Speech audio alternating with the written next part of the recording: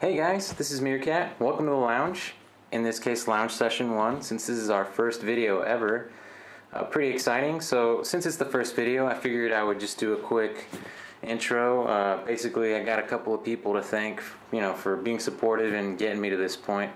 Uh, first and foremost, my wife, my family, my friends, all you guys listen to my music and tell me if it's good or it's bad, or you know so that means a lot. That's super helpful. And here soon, you know, all of you guys, the fans, will also be able to comment, like, subscribe, let me know what you think on all this stuff.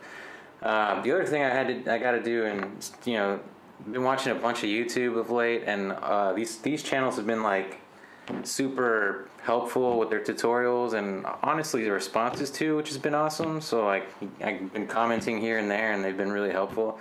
Uh, so first and foremost, the Andrew Huang channel. Uh, that was like the first foray into all this music stuff, which is pretty cool. Um, so huge shout out to you, man. Thanks. It's super inspiring to see all the stuff that you make. And then Cuckoo and Red Means Recording, all y'all's tutorials and performances of electronic type music and all this other just crazy fusion of cool sounds has been super inspiring. And you guys have also answered a bunch of questions, so I super appreciate that. You know, it's a comment here and there, but you know, it helps a lot.